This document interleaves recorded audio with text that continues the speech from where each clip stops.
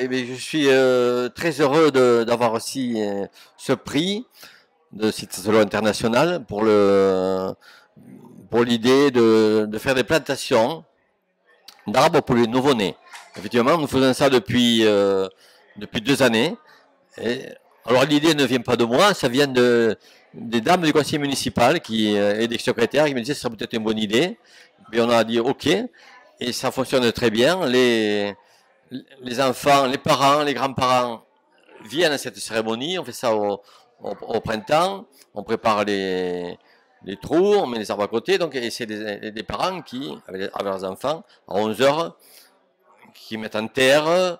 On met le nom, le nom du, du nouveau-né. Ensuite on prend, évidemment, on finit ça par un apéritif. Et c'est très, c'est très joyeux. Je trouve que c'est une très bonne, euh,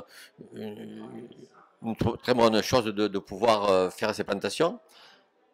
C'était également un peu à la en contrepartie de la tempête que nous, avions eue, qui avait fait tomber énormément d'arbres. Donc, il est bien de remettre, euh, de recréer des arbres. Et puis, je pense que pour même les enfants qui vont grandir, ils pourront revenir sur les lieux et voir. Vous voyez, cet arbre, il a été planté au moment de ma naissance.